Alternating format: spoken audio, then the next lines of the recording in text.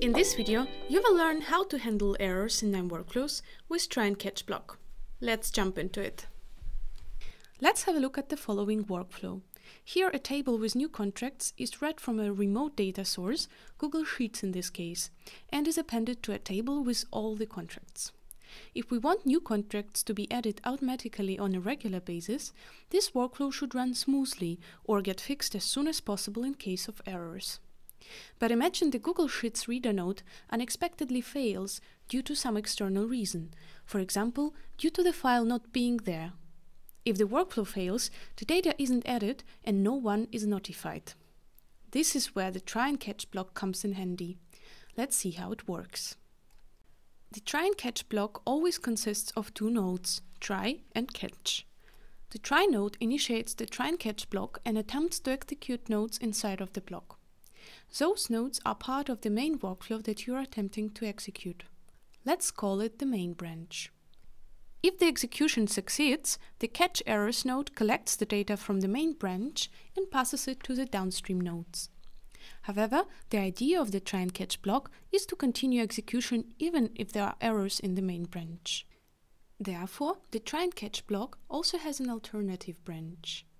If the main branch fails, the catch errors node collects the data from the alternative branch. There are sets of try and catch errors nodes with different ports.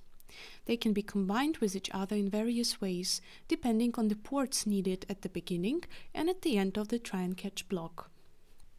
Let's go back to our example, now with the try and catch block added. Remember, we expect that the Google Sheets Reader node might fail from time to time. You can add a try node with variable ports before the Google Sheets Reader node and initiate it from the previous node. The try node doesn't require any configuration. Next, you need to close the try and catch block with a catch errors node with data ports. The first input port takes the data expected when the main branch executes successfully, new contracts data in this case. The alternative branch can differ depending on your workflow design. In this example, we use an empty table of the correct structure with which the rest of the workflow can execute. Let's see the configuration of the catch errors data ports node.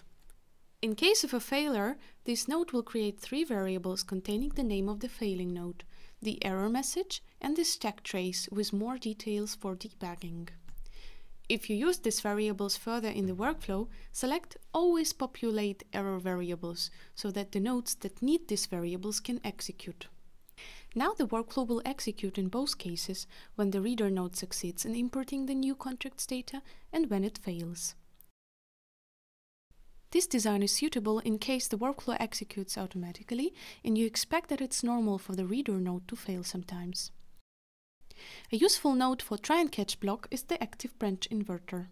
It changes the branch status from inactive to active and vice versa. You can add it between the last node in the main branch and the first node in the alternative branch. The alternative branch then will only execute if the main branch fails. This can be useful in the alternative branch, for example, if you read in some large data. With try and catch nodes, you can handle errors in many different ways. It's up to you to decide which nodes you expect might fail. For example, in our workflow, you can also expect that an authentication might fail and initiate the try node already before it. You can also decide what to do after your error is caught. One option would be to continue the execution with an empty table or with some alternative data. For example, you can use the last saved data instead of the fresh data from an external service that is sometimes down. Another option would be to stop the execution of the workflow and notify the workflow owners about the failure.